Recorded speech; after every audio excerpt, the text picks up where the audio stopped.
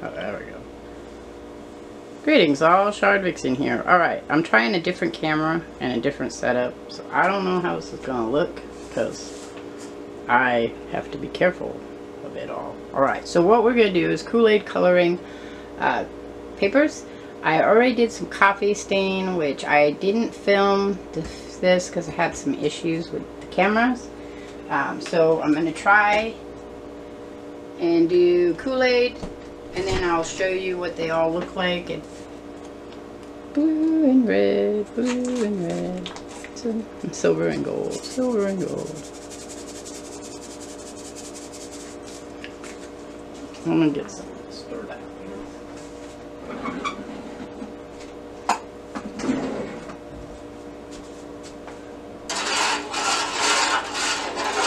Now this may be too much water for the for the coloring.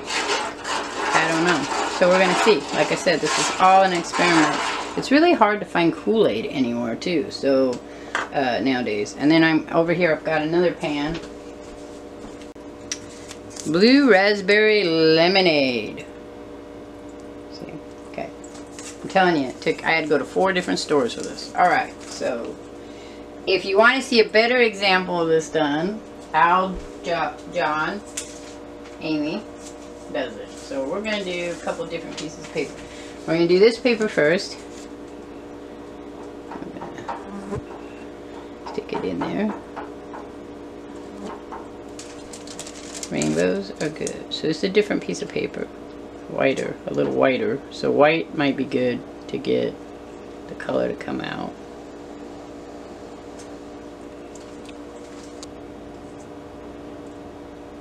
We're going to do three. That's what I usually do is three of three different papers.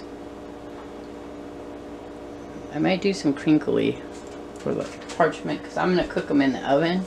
I'm not, I can't dry them outside. So what is she? Well, I'm crinkling stuff up because, you know, we all have to crinkle, crinkle, crinkle. Alright, so I'm going to put that one in there too.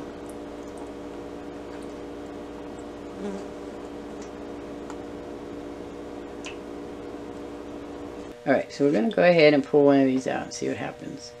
I don't think we're going to see a whole lot of color myself, but hey, I'll try it anyway. Alright, so I'm going to show you if I put back in the oven. This is the one I scrunched up. Okay, so it has, I don't, you can't tell here, but it does have a bit of a blue to it. So we're going to put back in the oven.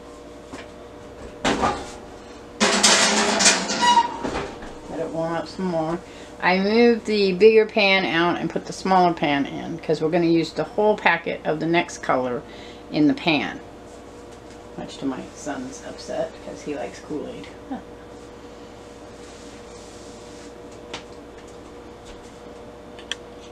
Also, um, I showed you what the blue looks like. What we're going to do, I'm going to do with this one here, I've decided, is I'm going to spot it with all the different colors. So we'll get rainbow kind of parchment-like paper. We'll see how crispy it gets. And then maybe I'll vellum it. Because that'll be kind of cool too. I like vellum paper. I like playing with it. Let's do this one, maybe. Another one of these now, because we have to do it on the, well no we don't. We can do it like I did it before. We just put it directly on the rack. Don't try this at home in your oven unless you want to. Then the same thing with this piece. This one I use yellow coloring on it. So I see a little bit of green on the edges right here. I don't think that's in focus, so let's see if we can get it back there. Um, but for the most part, it's yellow. that's fine too. I mean, Here's that one. Um, a little bit of blue tinge up here, I think. I don't know. We'd have to compare it to another white piece of paper to see if we thought so or not. Um, yeah, so there's a bit of a blue on the edges up there, but not really a whole lot of blue. Um, like I said, I think less water is going to be better, so we'll see. Though reds do turn out more, and that is a really light blue, so who knows. Here it is on the pan. So we see some creases in there. Um, we're going to dry it now, see how it turns out. Okay, so this will be our last blue one. So I'm going to take some of the blue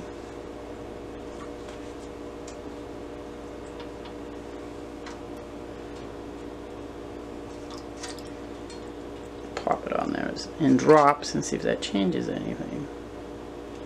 Alright, so that's our last blue one. And then we're going to do, we say we do red after this.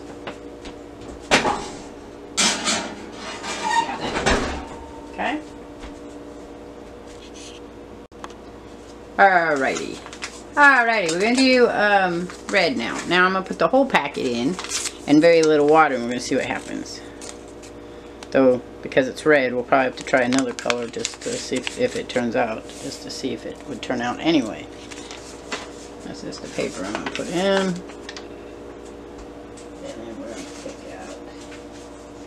This one, which is kind of a yellow base paper too. I got some cardstock here that I'm going to cut and put.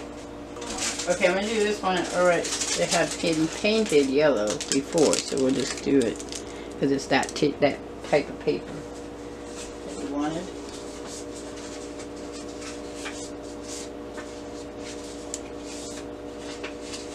I'm going to be doing some painting um, videos in a bit, in a next couple weeks. Alright, so the problem with the smaller amount of water though is it's hard to get the paper covered, so. And I'm only using a couple of the same types of paper, so. This is Kool-Aid dyeing 101, messing it up. as, as, as is typical with me. I got a comment the other day, uh, somebody messaged me and told me that my artwork was crap. Oh. And that I shouldn't have a crafting channel. That's fun. And first I wasn't going to answer him back, and then I just answered him back and said, you know what, I just do it because it's fun, and I have produced some really beautiful work that my children can attest to. I'm sure they weren't just being nice, but maybe. no. Maybe people were being nice to me, but that doesn't matter either. Alrighty, so I'm going to do yellow next. My All my reds aren't out yet, so I can't show them to you yet. I'm probably going to just make this one big thing.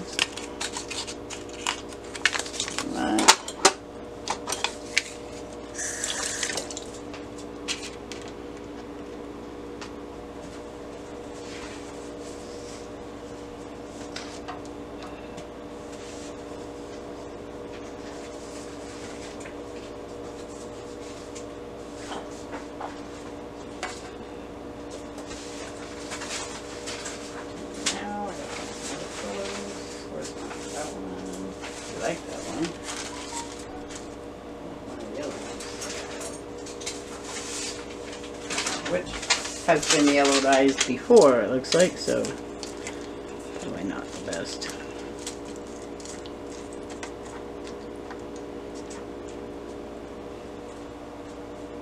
Blue and yellow, but you see that the um, blue and red, you see that it doesn't really, it layers on top of it, it doesn't really blend. I mean, you got a little bit of purple there, but not a lot. This is from a cookie cutter, metal cookie cutter. So that turned out really pretty. Let's see if I get it. Because it's still a little wet there. See, that turned out pretty nice. Be an interesting design for sure. So I'm to take this one. It's not really that yellow, but I'm going to take this one. I don't think this has any yellow on it actually. And that's got two pages. So we'll do a blue on that.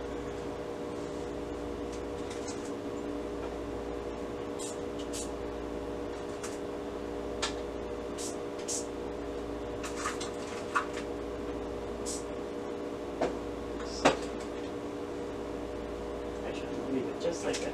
It's kind of cool because it's got a wrinkles, wrinkles in it.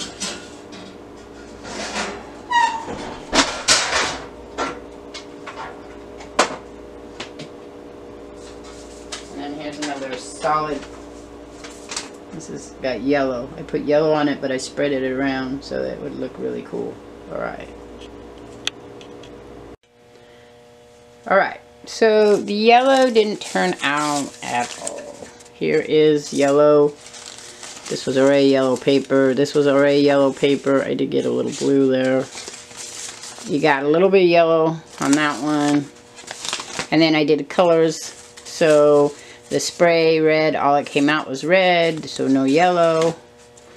These are an example of what Bob Ross says. There are no failures, just happy little mistakes. So I liked how that turned out. Again, it's not color. Oh, I did forget to do the other thing, but since the yellow didn't come out, it's not going to do any good. Where I was going to put the yellow spots on the paper, so that's the way that goes.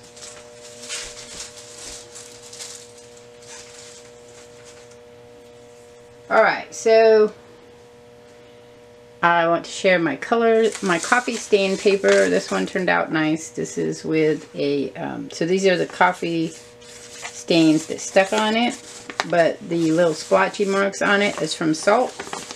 I did a thing down here with my cookie cutters and some spray. Here's some more spray, not very coffee-like except around the edges. I did some doll dollies these turned out kind of nice. They're very fragile though, so you, if you do them, you have to be very careful when you take them out. They break very easy. So was already kind of dark. That one's... Mm -hmm. This one turned out alright. I don't like coffee stain. It's hard to get the results you want. Here's where I coffee stained it and sprayed it. This is coffee stain and then put on right directly on the rail. I like this texture there. Um, Again, see, I like those textures like that. Here's some more of those, a little longer. They stayed in a little longer. Here's the folded with the creases in it. Here's some bigger ones. Really like those. This is my coffee stain.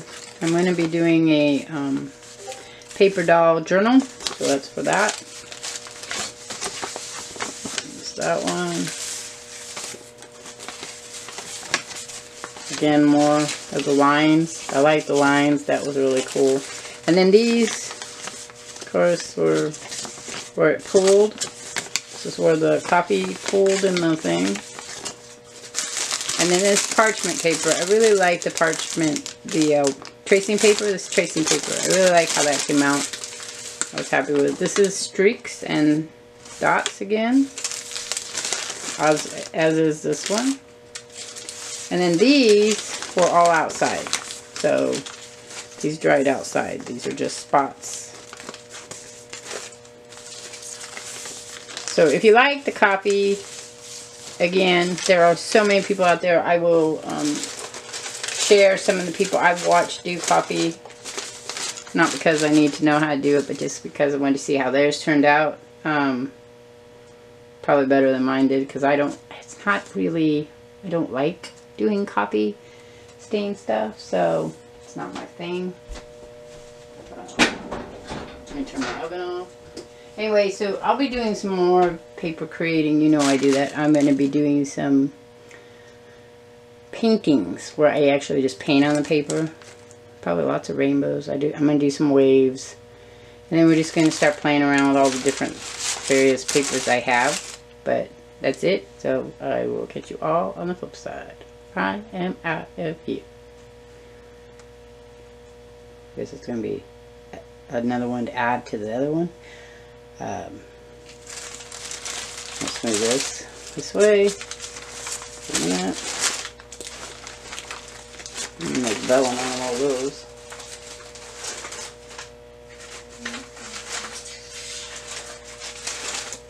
Okay, so that's the end of this particular video. I will catch you all on the flip side. I'm out of here. Peace.